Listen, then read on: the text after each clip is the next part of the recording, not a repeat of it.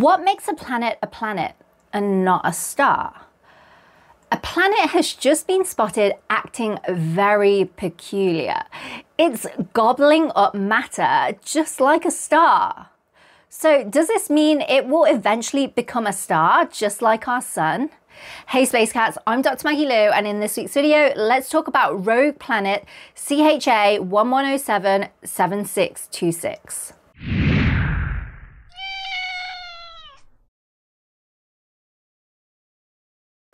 When we think about planets, we usually picture worlds orbiting around stars, like how the Earth orbits around our Sun. But not all planets fit this picture. Unlike these planets, some planets, known as rogue planets, aren't associated with any star at all. They drift freely and alone in space.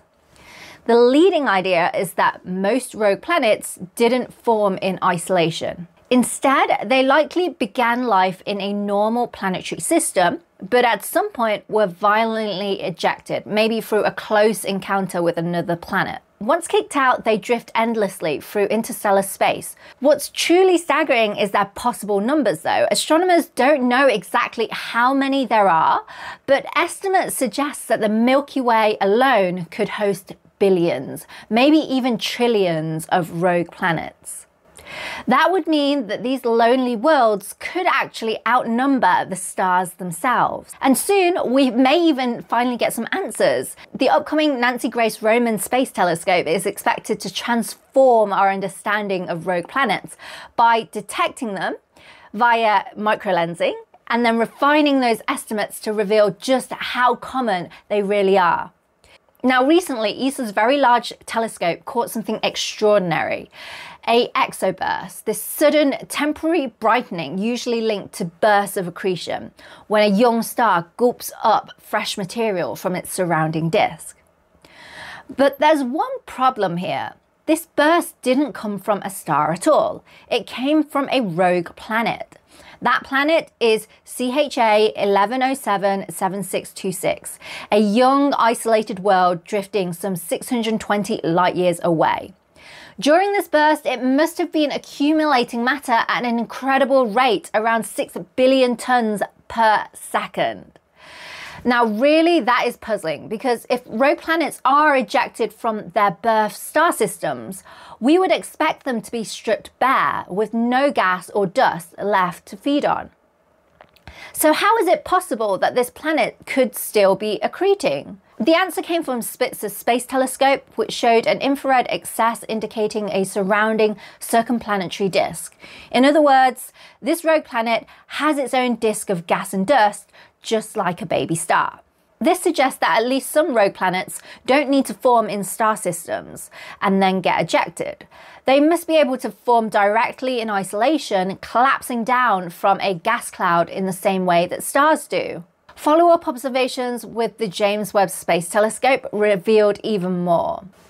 Astronomers detected a double peaked H alpha line with redshifted absorption in the spectra. Now, this is classical evidence of magnetospheric accretion, suggesting that the planet's magnetic field is funneling material onto that planet's surface, just like it does on a star.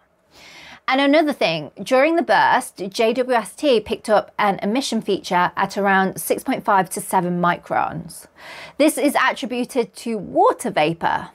That feature wasn't present when the planet was quiet, which means that the accretion burst actually heated the disk to high enough temperatures to alter the chemistry, changing the state of water itself. So, this single event has rewritten the way we think about rogue planets. They may not just be castaways after all. Some might actually be born in the dark, starless void, building disks, accreting matter, and growing just like miniature stars. But does this mean that this planet will eventually become a star? Unfortunately, not. Our rogue planet is about 5 to 10 times the mass of Jupiter, and it's growing very slowly by just one ten millionth of the mass of Jupiter per year. For an object to be a star, they need to have enough mass to sustain thermonuclear fusion of hydrogen. This corresponds to about 80 times the mass of Jupiter.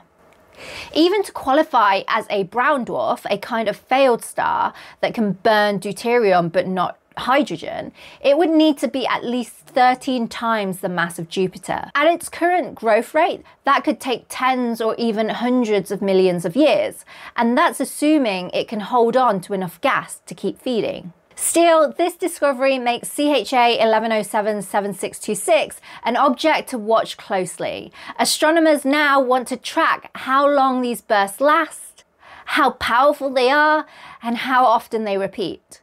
In fact, archival spectra already hint that something similar may have happened about a decade ago, around 2016.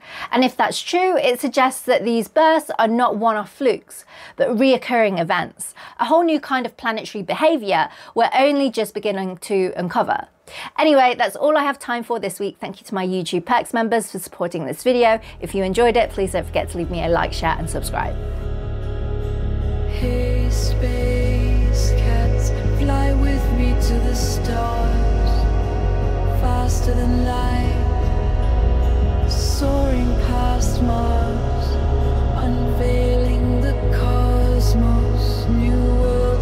explore.